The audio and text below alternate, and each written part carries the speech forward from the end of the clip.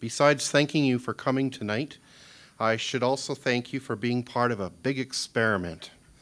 For that's what Nuclear Facts is an experiment. And it's the culmination of a, a year long experiment, which is to invest in partnerships, in, in researchers who have voluntarily come forward with ideas for using nuclear science and technology to benefit community.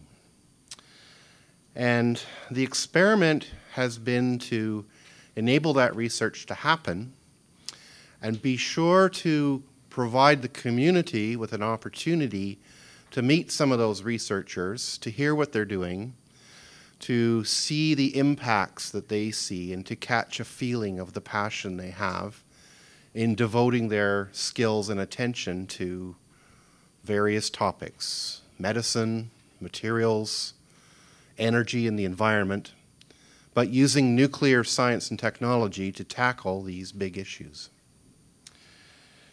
This is a novel way that the Fedoruk Center hopes to build a kind of a conversation between researchers and the community, that there would be a growing of understanding, the ability to hold reasonable conversation, and some feedback from the community to the researchers and to the Fedoruk Center to give some direction to where things might go in the future.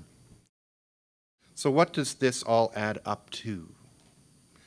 The Fedoruk Center is working to build a network of experts centered in Saskatchewan with partners around the world.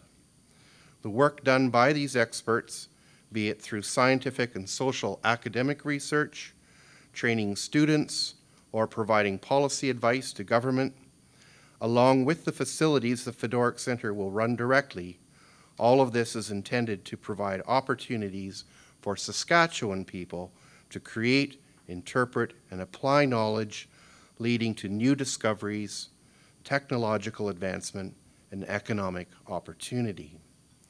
At the same time, the Fedoruk Center and the experts we support aim to increase awareness and understanding of the pros and cons of nuclear technology through fact based discussions with the people of Saskatchewan, and that is why we are here tonight.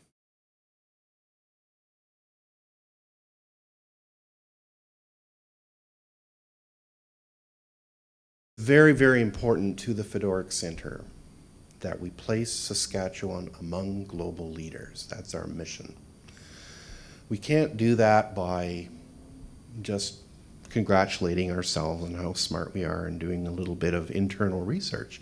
We have to talk to people who are outside Saskatchewan, where the global leaders are, and be part of that community. That happens through partnerships. So it's very important in the Fedoruk Center that when proposals come forward, there are meaningful partners brought by the project proponent, the person proposing the project. We want them to bring in partners. We want them to show that the Saskatchewan based leader has brought in somebody else who's also interested in this project. And that is our way of engaging and being a part of that global community of research, training, and development in the nuclear domain. So we will definitely hope that our Saskatchewan based leaders will find partners outside of Saskatchewan and bring them to the table with a meaningful contribution of their own to the research that's being done, funded in a base way by the Fedoruk Center. That's our goal. That's a very strong one.